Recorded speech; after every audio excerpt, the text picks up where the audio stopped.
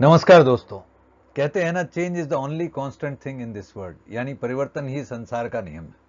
और दोस्तों, ये बात, ये जो सेंटेंस मैंने आपके सामने रखा, ये उक्ति जो मैंने आपके सामने रखी, ये पूर्णतः इनकम टैक्स लॉ पर भी लागू होती है। और आज के इस टॉपिक से इसे कॉरलेट करूँ तो मैं क्या कहना चाहता हूँ, जरा आप मेरी बात के मूल में जाइएगा, कि यूजुअली हम समझते हैं कि एक इंडिविजुअल को एक हिंदू अनडिवाइडेड फैमिली को टीडीएस काटने की आवश्यकता नहीं रहती। लेकिन दोस्तों, जिस प्रकार से पिछले कुछ समय में इनकम टैक्स लॉ में पर्टिकुलर टीडीएस प्रोविजंस में अमेंडमेंट आते जा रहे हैं, बहुत सी जगह इंडिविजुअल्स को हिंदू अनडिवाइडेड फैमिली को भी टीडीएस काटने की आवश्यकता होती है। तो इसी विषय में अवेयरनेस बढ़ाने के पर्पज से आज की video when an individual is liable to deduct tax at source आपके समक्ष प्रस्तुत है। तो दोस्तों, सबसे पहला बिंदु should individual or H B required to deduct tax at source yes or no by default your answer would be Bhatia ji no but let me tell you no sir today, there are number of circumstances when an individual or HUF is required to deduct tax at source, और यही बातें सीखने के लिए हम आगे बढ़ते हैं। अब आपके सामने रख रहा हूँ सर ये बात कि importance of business or profession in applicability of TDS provisions एक इंडिविजुअल या एचयूएफ की दृष्टि से कितनी महत्वपूर्ण है? Why I am putting up this kind of thing before you कि बात को जरा समझिए सर। कि आप मेरे को ये कह सकते हैं, भटिया जी, अगर इंडिविजुअल एचयूएफ यानी कोई व्यष्टि या हिंदू अविभाजित परिवार, अगर व्यापार कर रहे हैं, कोई बिज़नेस कर रहे हैं तो साहब फिर भी हम समझ में आता है कि उन्हें टीडीएस काटने की आवश्यकता है। ये पहला थम रूल ज़रूर हो सकता है कि पहली बात हमें ज़रूर ये चेक कर लेना चाहिए कि इंडिविजुअल एचयूएफ यदि व्यापार करते हैं बिज़नेस करते हैं तो उनके टीडीएस काटने की रिक्वायरमेंट ज़्यादा हो सकती है as compare to those who are into service or who are not at all into a business or profession लेकिन सर, जैसा मैंने शुरू से ही कहा है कि अब बहुत सारी जगह इंडिविजुअल एचयूएफ की requirement even non business profession requirement में भी बढ़ती जा रही है, मैं इसी बात को आगे आपके सामने रखने की कोशिश करता हूँ। तो दोस्तों, अब आपके सामने एक बहुत इंपॉर्टेंट अमेंडमेंट रख रहा हूँ लॉ में, जो एक चार 2020 से आया था। बहुत सारे सेक्शंस में आया है। मैं एक सेक्शन उदाहरण के लिए आपके सामने सेक्शन 194 ए का रख रहा हूँ कि क्या अमेंडमेंट आया सर एक प्रोविजो में कुछ अमेंडमेंट किया गया और क्या लिखा गया? Provided that an individual or H U F whose total sales gross seats or turnover from the business or profession carried on by him exceed 1 crore rupees in the case of business or 50 lakh rupees in the case of profession during the financial year immediately preceding the financial year in which such interest is credited or paid shall be liable to deduct income tax under this section point to be noted sir shall be liable to deduct income tax under this section इसका मतलब क्या है sir मैं उदाहरण देता हूँ मान लीजिए कोई मिस्टर एक्स है सर पिछले फाइनेंशियल ईयर से फॉर एग्जांपल 1920 में सर उनका टर्नओवर था डेढ़ करोड़ तो उन्होंने सर क्या किया? सेक्शन 44 एडी का बेनिफिट लिया प्रिजम्पटिव टैक्सेशन से 8 परसेंट का मार्जिन बताया, निकल गए। अब सर, वित्त वर्ष 2020-21 में भी उनका टर्नओवर से फॉर एग्जांपल एक करोड़ अस्सी लाख लेगा। He is free because is of the mind कि इस साल भी मैं टैक्स ऑडिट नहीं कराऊँगा, मैं तो 44 एडी सेक्शन का बेनिफिट लूँगा। आठ परसेंट मार्जिन ऑफ़र करूँगा। ठीक है, सर? वो आपका एक सिंप्लीफाइड टैक्सेशन रिजीम आपने बिज़नेस में लिया। लेकिन आप इस बात को समझिए कि फाइनेंशियल ईयर 2020-21 से ये अमेंडमेंट आया क्या? कि पिछले वित्त वर्ष में अगर आपके बिज़नेस में आपका टर्नओवर एक करोड़ से ज़्यादा है तो आप टीडीएस काटने के लिए लाइबल हैं अब मान लीजिए मिस्टर एक्स ने किसी व्यक्ति से लोन लिया दस लाख का और उन सज्जन को अस्सी हज़ार रुपए का ब्याज दिया एक साल का तो now mister A is liable to deduct tax at source on this eighty thousand rupees forgetting the fact that this person is going to avail the benefit of presumptive taxation under section 44 AD. ये एक बहुत महत्वपूर्ण change है sir जो कि एसएससीज at large individuals को फर्मों को, जो बिज़नेस में है, उन्हें नहीं पता। तो मुझे लगा कि क्यों ना मैं इस वीडियो के थ्रू उनकी दृष्टि में ये पर्टिकुलर अमेंडमेंट लेकर के आऊँ। अब आप कहेंगे कि भटिया जी, इसका मतलब इससे पहले क्या बात लिखी थी? मैं आपके सामने बात रखता हूँ, जरा देखिएगा। प्रीवियस वर्जन जो लॉ का था, सर, वो कहता था provided that an individual or H F total sale gross असीड turnover from the business or profession carried on by him exceed the monetary limit specified under clause A or B of 44 four A B during the financial year immediately preceding the financial year in which such interest is credited or paid shall be liable to deduct income tax under this section point two be noted sir पहले लिखा था कि limit 44 four A B से ज़्यादा की होनी चाहिए पिछले फाइनेंशियल ईयर में। अब लिखा है बिज़नेस के केस में एक करोड़ से ज़्यादा प्रोफेशन के केस में सर पचास लाख से ज़्यादा। इससे फ़र्क क्या पड़ता है सर? फ़र्क बहुत पड़ता है। 44 एबी में बहुत सारे ऐसे एसएससी सर नहीं आते टैक्स ऑडिट में, जिनका टर्नओवर दो करोड़ तक भी है। लेकिन अब सर लॉ ने अपने आप को अमेंडमेंट किया और 44 एबी को तो उड़ा दिया। क्या लिखा? अगर आप बिजनेसमैन है और एक करोड़ से ज़्यादा टर्नओवर है, और प्रोफेशनल है और 50 लाख से ज़्यादा टर्नओवर है, कब का? प्रिसीडिंग फाइनेंशियल ईयर का।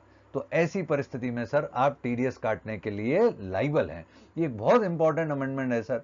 जो जो इंडिविजुअल एच को, जो बिज़नेस में है, उनके लिए मैंने अभी बोला है। जैसा मैंने शुरू में बोला कि जो बिज़नेस प्रोफेशन में नहीं है, उनके लिए भी टीडीएस काटने की बहुत जगह आवश्यकता है। उस पर भी मैं आगे डिस्कशन करूँगा।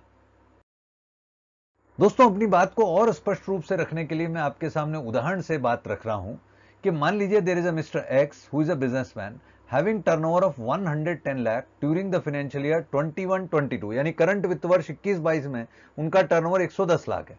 However for the preceding financial year his turnover was rupees 80 lakh whether he is required to deduct tax at source the answer is क्योंकि पिछले फाइनेंशियल ईयर सर 20-21 में उनका टर्नओवर एक करोड़ से कम है he is not liable to deduct tax at source चाहे इस साल उनका टर्नओवर एक करोड़ से ऊपर क्यों ना हो। अगला उदाहरण देखिए सर एक मिस्टर वाई है जो कि बिजनेसमैन हैं। Having gross receipts of rupees ninety lakh during the financial year twenty one twenty two however for the preceding financial year his gross receipts were one zero five lakh whether is require to deduct tax at source the answer is yes क्यों sir क्योंकि पिछले वित्त वर्ष 2020-21 में इन mister Y का जो turn over था, वो एक करोड़ से ज़्यादा था। So he is liable this year to deduct tax at source on what kind of payment the payment which are in the nature of maybe rent which are in the nature of the interest which are maybe in the nature of the brokerage commission मैं उन पर भी चर्चा आगे रखता हूँ sir आपके सामने एक मिस्टर जेड का उदाहरण और देखिए सर जो एक प्रोफेशनल है having gross receipt of 65 lakh during the financial year 21-22 however for the preceding financial year his gross receipt were only 49 lakh whether he is required to deduct tax at source the answer is no why no sir because पिछले वित्त वर्ष में उनका turnover gross रसीद 50 लाख से कम है as a professional इसलिए सर मिस्टर जेड को टीडीएस काटने की आवश्यकता नहीं है। अब दोस्तों, जैसा मैंने आपको बोला कि मैं आपके सामने लिस्ट भी रखूँगा कि एज अ बिजनेसमैन जब कोई इंडिविजुअल या एच काम कर रही है तो उसको कौन से सेक्शंस में अब रिक्वायरमेंट आ गई एक करोड़ प्लस पिछले फाइनेंशियल ईयर का turnover gross receipt total sale होने पर।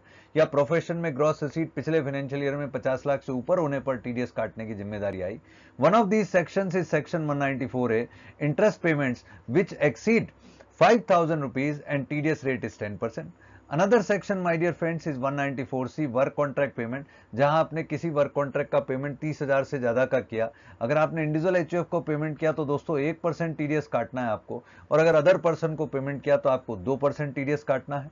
194 एच जब आप किसी को कमीशन या ब्रोकरेज का पेमेंट कर रहे हैं, सर पंद्रह हज़ार से ज़्यादा का तो आपको पूरे पेमेंट पर, जैसे ही पंद्रह से ज़्यादा आप एक्सीड होते हैं, सर, पूरे पेमेंट पर पाँच परसेंट टीडीएस काटना है। 194 आई रेंट के पेमेंट की बात कर रहा हूँ, सर। दो लाख चालीस हज़ार से ज़्यादा का पेमेंट होते ही आपको 10 परसेंट की रेट पर टीडीएस काटना पड़ेगा। इसी प्रकार दोस्तों, अगर 194 J fees for professional services या टेक्निकल सर्विसेज़ का पेमेंट कर रहे हैं तीस हज़ार से ज़्यादा का तो आपको 10 परसेंट की रेट पर सामने वाले से टीडीएस काटना पड़ेगा। चाहे आप इंडिविजुअल एच हैं प्रोवाइडेड पिछले वित्त वर्ष में आपका बिजनेसमैन के रूप में total sale turnover gross receipt एक करोड़ से ज़्यादा, या प्रोफेशनल के रूप में आपकी रिसीट 50 लाख से ज़्यादा थी। ये एक बहुत इंपॉर्टेंट अंडरस्टैंडिंग है सर जो हमें एज अ व्यापारी डेवलप करके चलना है। अब दोस्तों, मैंने आपके साथ शुरू में बोला था कि इंडिविजुअल एच चाहे बिजनेसमैन ना हो, तब भी उन्हें without turnover threshold limit TDS काटने की रिक्वायरमेंट आती है। वो क्या क्या केस हैं for an example section 194 I A वो ये कहता है कि यदि एक individual H real estate acquire कर रहे हैं 50 लाख या ज़्यादा की तो उनको एक परसेंट की रेट पर अगर वो किसी रेजिडेंट से प्रॉपर्टी परचेज कर रहे हैं तो टीडीएस काटना है। इसी प्रकार दोस्तों, यदि एक इंडिविजुअल 194 आईबी के अंदर किसी ऐसे व्यक्ति को रेंट का पेमेंट कर रहा है, जहाँ पर रेंट का भुगतान एज एन इंडिविजुअल आप पचास हज़ार रुपए से ज़्यादा का प्रतिबंध कर रहे हैं तो आपको पाँच परसेंट की रेट पर टीडीएस काटना है। इसी प्रकार दोस्तों, एक सेक्शन है 194 आईसी वो ये कहता है कि मान लीजिए किसी व्यक्ति ने ज्वाइंट वेंचर के अंदर पेमेंट किया। तो अगर आप एज एन इंडिविजुअल एच किसी के साथ ज्वाइंट वेंचर में कोई कंस्ट्रक्शन करते हैं और आप ये कहते हैं कि नहीं साहब, ये ज्वाइंट वेंचर मेरे लिए बिज़नेस नहीं है तो भी सर आपको टीडीएस काटना है 10 परसेंट की रेट पर। और सेक्शन 194 एम ये एक बड़ा इंपॉर्टेंट अमेंडमेंट आया सर, जो कहता है अगर आप कंस्ट्रक्शन कॉन्ट्रैक्ट ब्रोकरेज या प्रोफेशनल टेक्निकल सर्विसेज़ का पेमेंट करते हैं और आप टीडीएस काटने के लिए 194 सी में 194 एच में या 194 जे सेक्शन में लाइबल नहीं है। और आप ये सारे पेमेंट मिला के साल में 50 लाख से ज़्यादा का किसी व्यक्ति को कर रहे हैं, सर तो आपको 5 परसेंट की रेट पर, सर टीडीएस काटने की ज़िम्मेदारी है। बहुत ध्यान से समझिएगा दोस्तों ये बात कि मैंने ये जो सेक्शन रखे हैं, यहाँ पर अगर आप बिज़नेस नहीं भी कर रहे लेकिन आप इंडिविजुअल एच हैं तो आपकी टीडीएस काटने की प्राइमा फेसाई ज़िम्मेदारी बनती हुई दिख रही है। So this is a very important point इसके साथ दोस्तों, दो और सेक्शन यहाँ जोड़ूँगा।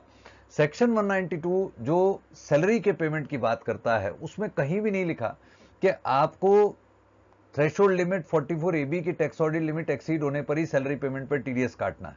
इसी प्रकार सर जब आप किसी को किसी प्रकार से lottery, crossword puzzle card game का पेमेंट करते हैं और आप इंडिविजुअल हैं और आप दस हज़ार से ज़्यादा का पेमेंट करते हैं you are suppose to deduct tax at source at the rate thirty percent so I thought that this is a very important understanding which we as an individual HUF can develop with the help of this particular presentation.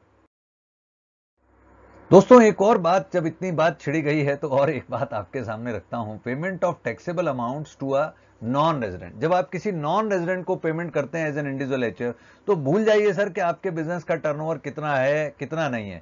आप तो ये बात ध्यान रखिए। मैं law की बात कर रहा हूँ सर। सेक्शन 195 के वर्चू से ये बात कर रहा हूँ। One must remember that in the case of payment to a non resident whether or not you are an individual, if you are making payment which is taxable in the hands of non-resident in India, then you are liable to deduct tax at source at the applicable rate of tax. यानी आपने अगर किसी non resident को भुगतान किया चाहे आप businessman हैं या नहीं है और वो रिलेवेंट पेमेंट नॉन रेजिडेंट के हाथ में टैक्सेबल इन इंडिया है तो it is your liability to deduct tax at source एक बहुत इंपॉर्टेंट पॉइंट सर यहाँ पर मुझे आपको एलोबरेट करना है कॉन्सिक्वेंसेज ऑफ़ नॉन डिडक्शन हालाँकि आप ये मत मानिएगा कि भाटिया जी, आप हमें डरा रहे हैं।